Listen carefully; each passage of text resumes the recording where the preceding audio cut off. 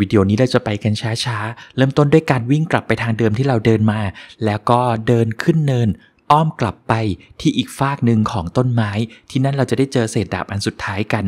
ทีนี้ที่เราจะไปกันช้าๆ และจะพยายามไม่เร่งภาพให้เร็วเกินไป เพราะฉากนี้เราจะได้เจอกับฉากที่มันมืดตึ๊ดตึ๊ดตือซึ่งถ้าเลี้ยวผิดไปเลี้ยวเดียว หักมุมผิดไปนิดเดียว มันก็จะกลายเป็นหลงไปเลย ดังนั้นเราจะค่อยๆ กระดึบกระดึบกระดึบกัน ทีนี้ลุย ในตอนแรกพอเข้าไปมันจะมืดตะลึดตื้อเลยนั่นแหละ มองอะไรแทบไม่เห็นเลย แต่ที่จริงแล้วเรามีโอกาสที่จะมองเห็นวัตถุต่างๆ ได้ด้วย 3 วิธี วิธีแรกเลยก็คือ ถ้าวัตถุนั้นมันเป็นวัตถุเลือนแสง อย่างพวกคบเพลิงต่างๆ เราจะมีโอกาสที่จะเห็นมันได้จากระยะไกล หรือวิธีที่ 2 คือเราเข้าใกล้วัตถุนั้นมากพอ เราจะมองเห็นมันเป็นชิ้นเป็นอันได้เอง หรือวิธีที่ 3 คือถ้าเกิดว่าน้องๆเล่นด้วยจอย Xbox 360 ให้กดปุ่ม RT ที่อยู่ทางมุมขวาบน หรือว่าปุ่มโฟกัสนั่นแหละ เราก็จะมองเห็นได้ด้วยเหมือนกัน เห็นเป็นเงาเงาเห็นเป็นเราเรานั่นแหละ ทีนี้ตรงฉากแรกตรงนี้วิธีผ่านก็คือ ให้เราเดินไประหว่างช่องกลาง ระหว่างกำแพงสองฟากนั่นเอง ซึ่งมันก็จะเป็นทางตรงซะเป็นส่วนใหญ่ เดินไปตรงๆมีเลี้ยวบ้างนิดหน่อย ถ้าเริ่มไม่มั่นใจว่าถูกทางไหม ก็กดโฟกัส แล้วพยายามมองหาช่องว่างระหว่างกำแพง ถ้าเราเดินมาถูกทางจริง เดินไปสักพักหนึ่งจะเริ่มได้ยินเสียงคบเพลิงแบบมีเสียงไม้โดนเผา อะไรประมาณแบบนั้น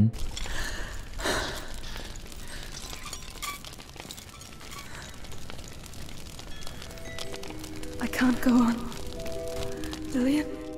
เสร็จปั๊บจะเจอทางตัน ตรงนี้ ให้เลี้ยวซ้ายเบาๆ ช้าๆ แล้วเดินไปเรื่อยๆ เดินไปเรื่อยๆ จนกว่าจะเห็นคบเพลิงอยู่ทางซ้ายมือของเรา พอเห็นคบเพลิงอยู่ทางซ้ายมือปั๊บ ก็ให้เดินตรงไปต่อไปจากมุมตรงนั้น ไปเรื่อยๆ จะเจอคบเพลิงอันที่สอง อยู่ทางซ้ายมืออีกเช่นเดิม พยายามให้คบเพลิงอยู่ทางซ้ายมือเข้าไว้ เพราะว่ามันจะเป็นทางที่เราจะหันหน้าไปถูกต้อง แล้วก็เดินจึมจึมจึมจึมต่อไป จะเจอครบเพลิงอันที่ 3 ซึ่งก็เซตให้มันอยู่ทางซ้ายมือเข้าไว้เหมือนเดิม แล้วมันจะนำเราออกสู่ประตูด้านนอกนั่นเอง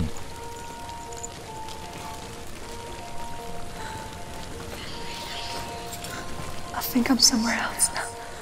The breeze has gone. จริงเขาไม่ได้เรียกว่าคบเพลิงหรือเปล่าเขาเรียกว่าอะไรกระทะเพลิง ใช่ไหมมันเป็นเหมือนจานใส่ฟืนเยอะๆ แล้วมีไฟพลึบๆ อะไรเงี้ย แต่นั่นไม่ใช่ประเด็น ทีนี้พอออกมาแล้ว ให้เราก้มมองที่พื้นเอาไว้ มันจะมีแผ่นไม้สลับกับพื้นดิน เหมือนเป็นตลิ่งเล็ก ๆนำทางเราไปเรื่อยๆ ตราบเท่าที่เราเดินเหยียบแผ่นไม้ไปด้วย เราจะไปถูกทางจนเจอกับทางน้ำไหล ทีนี้เพ่งดีๆ ดูให้ออกว่าน้ำมันไหลไปทางไหน ซึ่งปกติมันจะไหลลงไปทางขวามือ ด้านขวาล่างของจอภาพเราอะฮะแล้วให้เราเดินทวนทางน้ำขึ้นไปด้านบน ทวนน้ำนะ เดินทวนน้ำเขย่าแขน โอเค ทีนี้เดินไปเรื่อยๆ วิธีที่เราจะรู้ว่าเรามาถูกทางก็คือ พอไปสักพักจะเริ่มเห็นศพนอนตายระหว่างทางเกลื่อนๆไปรัวๆ แต่ทีนี้ก่อนที่จะถึงตอนนั้น เฉพาะตอนนี้ เฉพาะในตอนที่ยังไม่เจอศพตรงนี้ สวัสดีครับ ผมขอรบกวนทางชุดนอน พร้อมสปอนเซอร์ ggkeystore.com เพจ และเว็บไซต์ผู้ให้บริการบัตรเติมเงินเกมต่างๆ ทั้ง Steam Wallet, Battle.net, iTunes, Google Plus, PSN ง่ายๆ แค่เติมเงิน สั่งซื้อแล้วรับโค้ดได้ทันทีตลอด 24 ชั่วโมง ปลายทางของการเดินทวนน้ำจะนำเราไปสู่จุดที่ต้องมุดมุดๆนิดนึง แล้วก็จะได้เจอกับกระท่อมหลังเล็กๆ หลังหนึ่ง ภายในมืดตื้อเหมือนเดิมเพิ่มเติมคือ มีปีศาจเดินต้องแต่งต้องแต่งล่อนเล่ล่อนเล่อยู่ในนั้นด้วยหนึ่งตัว มี2ออย่างที่เราต้องทำทันทีที่อยู่ในนั้น อย่างแรกเลยก็คือ อย่ายืนนิ่งๆ ต้องเคลื่อนไหวตลอดเวลา เพราะว่ามันเดินตรวจตาล่อนเล่อยู่ตลอด มันมองไม่เห็นเราแต่ว่ามันเดินอยู่ตลอด ถ้าเรายืนนิ่งๆ เดี๋ยวมันก็จะเดินมาชนเราอยู่ดี อย่างที่ 2 ก็คือเดินให้ถูกทาง นั่นคือการเดินไปทางขวามือ พยายามให้ตัวเราชิดกำแพงที่อยู่ทางขวามือเข้าไว้ แล้วเดินต่อไปเรื่อยๆ เดินต่อไปจนกระทั่งเริ่มเห็นทิวทัศน์รอบข้าง แล้วเห็นว่าข้างหน้าเป็นทางตัน พอเห็นว่าข้างหน้าเป็นทางตัน ทางขวามือเป็นกำแพง ให้เราหักซ้ายไปทางซ้ายทันที หักซ้ายไปทางซ้าย ให้เราหักเลี้ยวไปทางซ้ายทันทีขอบครับ แล้วเราจะเจอทางออกเอง อย่าหยุดเคลื่อนไหวเด็ดขาด ไม่งั้นจะเจอมันเข้ามากอดแน่นๆ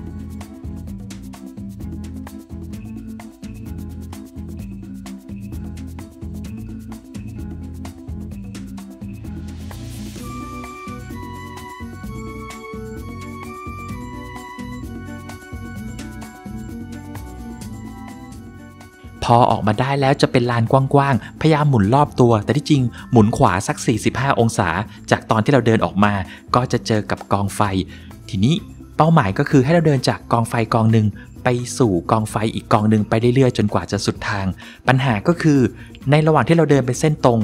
ผ่านไปเรื่อยๆ มันจะมีตัวสัตว์ประหลาด ซึ่งเราจะมองเห็นได้ในระดับหนึ่ง เดินตะแคงทะแยง ปาดหน้าเราไป ปาดหน้าเรามาอยู่ตลอดเวลา มันมองไม่เห็นเรา มันไม่ได้ยินอะไรกับเราเลย แต่มันจะไม่หยุดเดิน เราแค่อย่าเดินไปชนมัน ข้อควรระวัง บ่อยครั้งเราเห็นมันเดินปาดผ่านหน้าเราไปแล้วก็จริง แต่พอเรามองไม่เห็นมันปับ๊บอย่าลืมว่ามันจะต้องเดินสวนสนามกลับมาทิศทางเดิม บางทีมันอาจจะปาดหน้าผ่านเราไปแป๊บหนึ่งแล้วมันยูเทิร์นกลับมาทันทีเลยก็ได้ด้วยเหมือนกัน เพราะฉะนั้นพยายามมองมันในมุมกว้างๆแล้วก็เดินห่างจากมันให้มากที่สุดก็พอ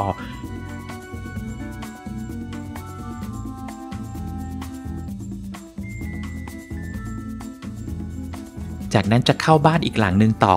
แล้วเดินเข้าไปไม่ลึกมาก พยายามมองทางซ้ายมือด้านบนเอาไว้ มองด้านบนนะ แล้วจะเห็นเป็นคานเล็กๆอะฮะ พอเห็นเป็นคานไม้ปับ๊บ ให้เราก็มองพื้นทันที เพราะตรงนั้นจะเป็นจุดให้เราเดินเหยียบแผ่นไม้แผ่นเดียวไป อย่าตกเด็ดขาด เพราะด้านล่างมีตัวผีบ้าเดิน จุบปุกจุบปุกอยู่ เดินไปตามทางตรงนั้นไปเรื่อยๆ พอผ่านแผ่นไม้ตรงนั้นไปได้ มันจะมีบ่อน้ำให้เรากระโดดลงไป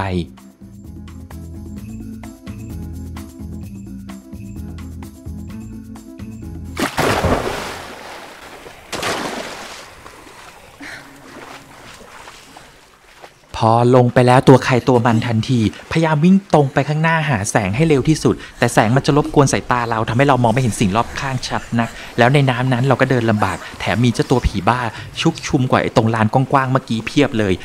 ระวังระวังให้ดีเพราะบางทีมันเจ่อเข้ามาใกล้ๆแบบงงๆ ก็มีด้วยเหมือนกัน แต่ถ้าเกิดว่าเราผ่านตรงนี้ไปได้ เราแหวกศพที่แขวนแขวนแขวนแขวนอยู่ตรงนี้ไปได้ ก็จะผ่านฉากมืดๆตรงนี้สักที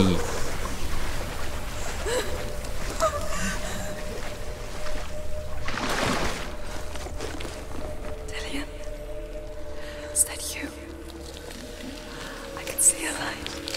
Yes, I can see you too.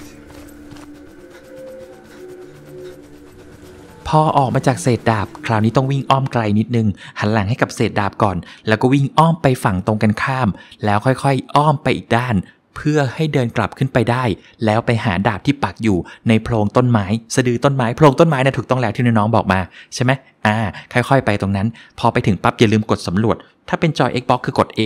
กด A เพื่อสำรวจดาบที่ปักอยู่ ไม่ใช่ยืนเฉยๆ ไม่งั้น cutscene มันก็จะไม่มา โดยหลังจบ cutscene นี้จะเป็นฉากต่อสู้แบบยิงยาว ยาวยาวยาวให้เราหายคิดถึงการต่อสู้ที่ไม่ได้สู้มานานไปเลยศัตรูมาล้นๆมาต่อเนื่องมาเพียบๆแถมมีศัตรูแบบใหม่มาด้วย ส่วนตัวเราเองก็มีการอัปเดตขึ้นเล็กๆ ด้วยเหมือนกันด้วยดาบใหม่ที่เราเพิ่งได้มา ดาบนี้เวลาเราเจอศัตรูที่มันเป็นร่างเงาๆที่ปกติแล้วโจมตีไม่ได้ เราสามารถใช้การแพรี่อาวุธศัตรูหนึ่งครั้ง เพื่อดึงพวกมันกลับมาสู่ร่างปกติ แล้วเราสามารถโจมตีมันได้ตามปกติต่อไปได้นั่นเอง คือถ้าเป็นเมื่อก่อนเวลาเราเจอศัตรูที่แปลงร่างเป็นเงา แล้วเราโจมตีไม่ได้ เราจำเป็นจะต้องมี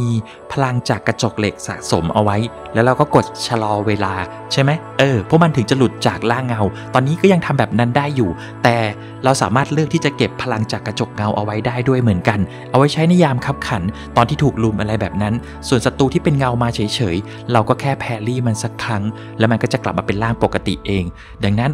ประหยัดพลังของกระจกเหล็กเอาไว้ดีๆ เพราะว่าต้องใช้ในยามขับขัน ซึ่งมันจะต้องเกิดอาการขับขันแน่ๆ เพราะว่าศัตรูมันมาเยอะมากๆ ต่อเนื่องมากๆด้วย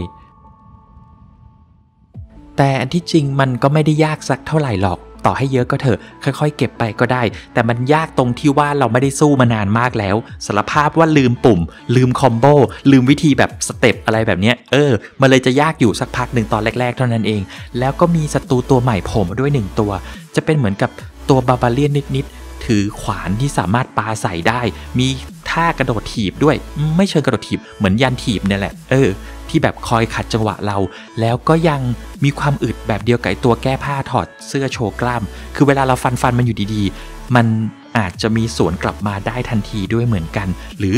บางทีด้วยความที่มันพลิ้วมากๆ ฟันฟันมันอยู่ดีๆ มันกระโดดหลบไปข้างหลังก็มี หรือปาระเบิดควัน ซึ่งถ้าเกิดว่ามันปาระเบิดควัน มันจะกลับเป็นร่างเงาอีกต่างหาก ให้เราต้องแพรรี่มันก่อน ถึงจะเริ่มโจมตีมันได้อีกรอบ เป็นตัวที่เล้าหรือเล้าหรือพอสมควร ซึ่งถือว่าเป็นศัตรูตามฉากที่เก่งที่สุดแล้วของเกมนี้เพราะนี่เป็นศัตรูแบบใหม่แบบสุดท้ายที่เราจะได้เจอในเกมนี้แล้ว ถ้าไม่นับพวกบอสที่เราจะได้เจอภายหลัง ทีนี้เราก็สู้สู้สู้สู้สู้สู้สู้สู้สู้สู้สู้สู้พวกนี้ไปเรื่อยๆ ใช้พวกมันระบายอารมณ์ที่อัดอั้นมายาวนานจากการไม่ได้ต่อสู้